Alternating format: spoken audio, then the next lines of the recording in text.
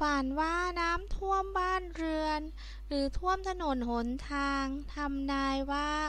จะมีโอกาสเดินทางไปต่างประเทศ หรือจะต้องโยกย้ายที่ทำงานที่ดีขึ้น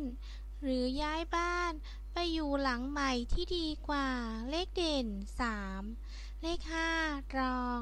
เลขเด็ดเพื่อการเสี่ยงโชค 2 3 2 5 สองสองศูนย์ห้าสามสามห้าห้า